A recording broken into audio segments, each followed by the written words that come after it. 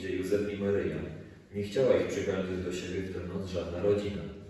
Nie było miejsca dla Boga w Betlejem w żadnej gospodzie. I narodził się Jezus Zbawiciel w stajence, półmstwie i chłodzie.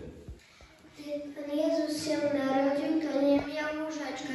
Musiała go Matka Boża złożyć do żółbeczka, bo mieszkała w biednej szopce, gdzie owieczki spały.